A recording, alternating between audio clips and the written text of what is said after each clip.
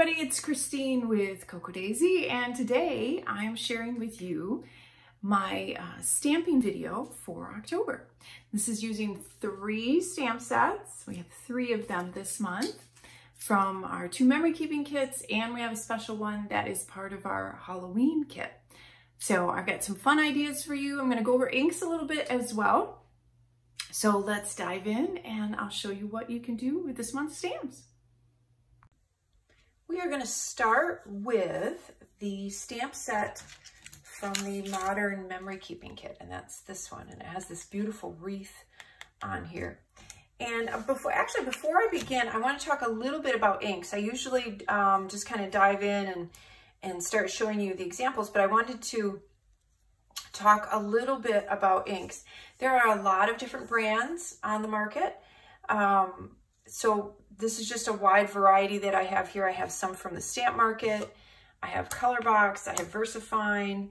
There's the Memories and then the Stamping, um, the Stampin' Up brand as well. And then there's also, I have another one here from Ranger. There's, so again, there's a lot of different um, brands on the market. I like to use, uh, mostly for paper, I use dye ink. It's um, fast drying. It doesn't bleed through as bad and um, it, like I mentioned, it doesn't smear, so it dries right away, it sinks into the paper. If you use a pigment ink, it will sit on top of the paper. So usually with a pigment ink, you either need to um, emboss it or dry it, you, but you can use it on glossy surfaces. So um, I, I, don't like to use pigment ink as often. I like to be able to stamp and just keep going. So I usually stick with, um, with the dye inks. And I find that there's a great range of colors with those as well. Uh, one thing I will mention is the VersaFine. When I have any sort of a very fine stamping to do, an image that has a lot of very thin lines, or I want a very crisp image, VersaFine is amazing. So you'll see the difference um, on some things. I'll point it out as I go. But if you ha ever have anything that's a very small or thin or detailed stamp, VersaFine is amazing. Only problem that I found with VersaFine is that there's not a huge range of colors. So, but it is my always my go-to uh, for black ink stamping. Um, love my uh, VersaFine ink pads. So we are going to start with, as I mentioned, the Modern Memory Keeping Stamp Set. And then as we go on, you'll see me merge some of the stuff between the stamp sets. And I'm going to show you the Halloween stamp set that is in our um, Halloween add-on kit. That was a pre-order we had a couple months ago. We will have more um, that we will list just for sale. So if you missed out on the pre-order, we are going to have some that we will put in the store, but that's going to be closer to mid-month um, after we get shipping done. So I loved this wreath. I love this wreath so much. So I went a little crazy. I used it a lot. But there's so, it's such a pretty fall little wreath. And I thought there was a lot of different ways that you could layer and use it. So as you can see, I used it with a number of different things in the middle. I used the label stamp and then stamped the fall favorites inside of it for that one. Um, I did the comfy and cozy. That one is from the, um, the Traveler's Notebook Memory Keeping Set, as is the Hello Fall. And I'll get to this one in a minute.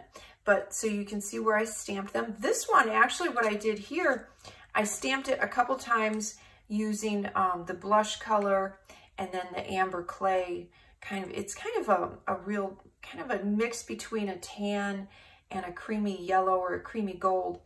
And I just layered that and stamped it a couple of times, moved it just a little bit and made a fuller wreath out of that. And then here's an example of, so there's this autumn leaves and pumpkins, please. Now this type on here is very fine and it's very small. So this goes back to what I was talking about with that VersaFine. You can see the difference. And also sometimes when you have a new ink pad, it can be really juicy. And when you have a fine stamp like that, it can and I don't mind that look. I thought it looked pretty here, but you can see where I stamped that. I had It's a new stamp pad, and you can see where it bled into the letters just a little bit. but you can see the difference in how crisp it is when I use the black VersaFine. So that's just kind of a little example. Same thing here, when you see the label, you can see that second line, whereas when you stamp it with um, the more juicy, newer stamp or different brand of ink, it's, um, it's not as crisp. And again, I don't mind that. It just depends on the look that you're going for. So again, you can see where I stamped those in the middle. And then this one here I stamped, and then I used the little leaves here, and I went down the side. I did that on the bottom of um, the Autumn is a State of Mind. I added that there. One thing I wanted to mention is this stamp, and let me find it here. This stamp set is all, or this little stamp right here with the little leaves is all one, one stamp.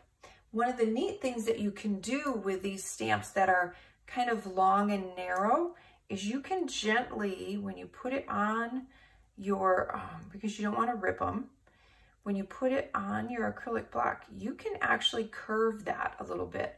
So now you can see how I curved that. And I did that and put it around this Cozy Vibes. So I was able to make it curve a little bit instead of just straight up and down. And again, you always want to be careful with these when you peel them on and off because they, they can be when they have, when they're long and thin like this, the connectors, they could tear. So you just want to be kind of careful with that. But that's one of the things that you can do. You can do that if you have a long saying, you can curve it as well. So that's what I did there. I curved that and stamped it with that. And then um, another example of this autumn leaves and pumpkins, please. I put that in the wreath, just different color combination. And then with those little leaves, you can make a border. Here I did it with kind of an ombre effect. Here I did it all just one color. And then the adorable coffee cup. I used that with the Cozy Vibes. I used it with the Autumn as a State of Mind. You could always take this and again put it inside that wreath. You could add the coffee cup with the Hello Fall, with the Cozy Vibes in there as well. And um, even with this, you could move that over and stack it with that, or you could do one on each side would be really cute as well. So then the other thing that I did, so I started to combine them. The other stamp set, this one from the Traveler's Notebook Memory Keeping Kit, has these really fun two-step um, leaves, and I'll show you some more examples of those in just a minute. But so what I, and I loved this word circle here as well. So what I did is I stamped the wreath, then in a light kind of a blush tone, and then I stamped this circle over top in a darker color, and then I layered the two stamps in the middle. Again, you could do this and then add another word inside. You could add the coffee cup inside. You could do a lot of other things and just keep layering and layering. And that's what we always talk about. So many fun ways to layer. So now we're going to move on and I'm going to show you some of the fun ways to use these layering. Scooch that up a little bit. These uh, layering leaves. So what I did, just real simple, started out with stamping that uh, circle the words. Autumn is my favorite. And I did it in a brown here and then added the little hello fall. So super simple, but I like sometimes that graphic look, the same thing here with just the coffee cup in the middle. And then this one, I layered it with just one of the layered leaves. Now the leaves, so as you can see, there's, um, these just kind of look like blobs almost, and then you have the inside of the leaves. So what I did is I went through and I kind of matched them up how I liked them. And there's a lot of different ways you can match these up. So you just have to play with them a little bit. But I just kind of kept them together on the stamps. And then that way when I was stamping, I knew which ones I wanted to, um, wanted to pair up. So what you do is the part that looks like a blob, uh, you stamp that first and you use a lighter color. So I, you can see where I made this real pretty kind of waterfall effect or like the leaves are falling down.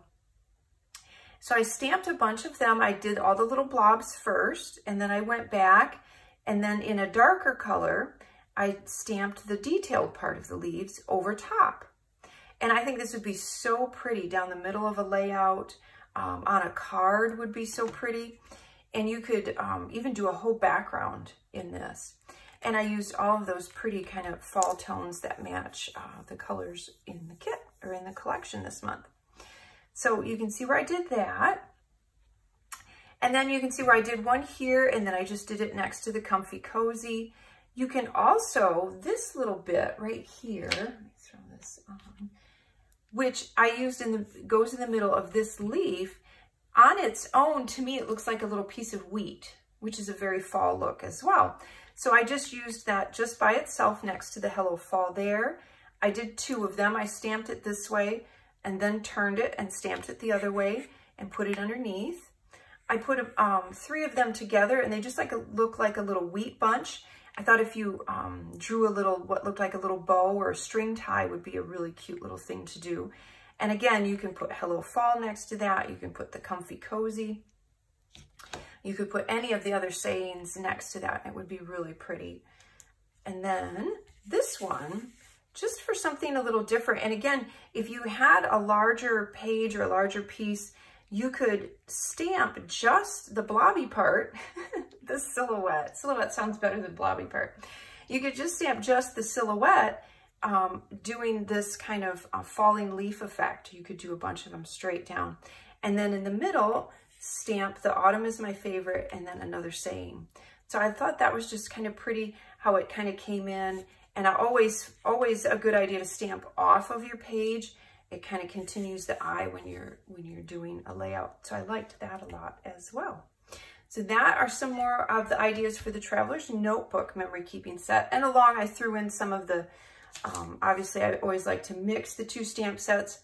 So if you get our stamp subscription, which has both of these, or if you get both the um, Modern Memory Keeping Kit and the Traveler's Notebook Memory Keeping Kit, you'll get both of these as well. So I like to show how you can use them on their own, but then also how you can use them together because it just stretches everything so much more. And then we're going to go on to the Halloween set, and this is so fun. And I used um, I used just the black, my VersaFine, and then I used um, that amber clay, which is that kind of creamy yellow um, color, kind of a goldy yellow, and then I used a mango uh, for the orange. So I just kept it to those three colors. And again, there's a lot of stamps in here that have some fine detail, so that's why I wanted to go with that nice crisp black. And so the um, the little Halloween circle, the word saying here circle, I stamped that. I, I could just, you could just go crazy. You could layer so much inside of that because it's a lovely graphic but simple stamp.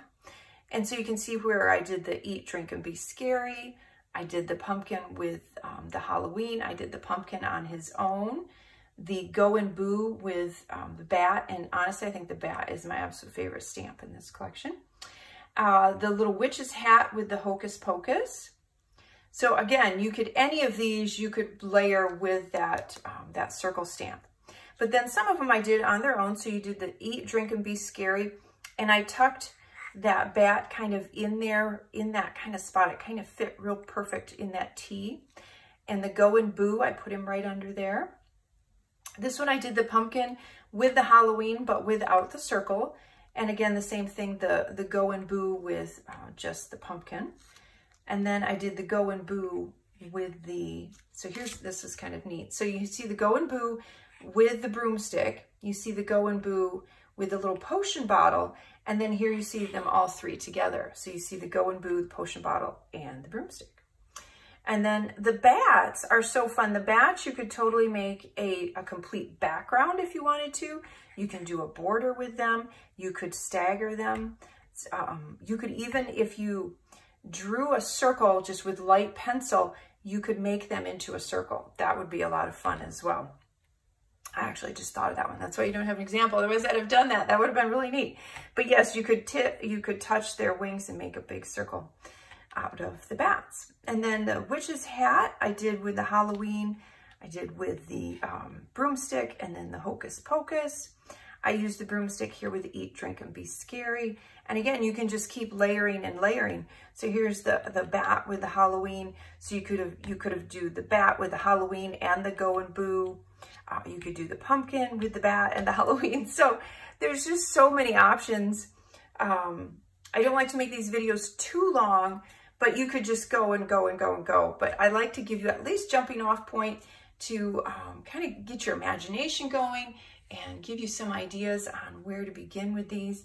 I'm excited about this Halloween set. This is gonna be fun. You can make some great cards with this. You could decorate your planner pages um, with this and um, even these would be fun if you have a circle punch to punch these out and you could create die cuts with these as well for on layouts in your traveler's notebook. So many ideas. So that is the three stamp sets for this month. It is the, um, the Modern Memory Keeping Kit, the Traveler's Notebook Memory Keeping Kit, and our um, Halloween Special Order Kit. So this you will get in uh, the Halloween Special Order Kit. And again, uh, if you missed out on the pre-order that we had a couple months ago, don't worry, there will be some in the store probably mid-month. So mid-September, you'll find those. Just make sure you sign up for our newsletter and then uh, you'll be sure to know when they are put in the store. So that is our fall set of stamps. I hope you're excited for these and I'll see you next month.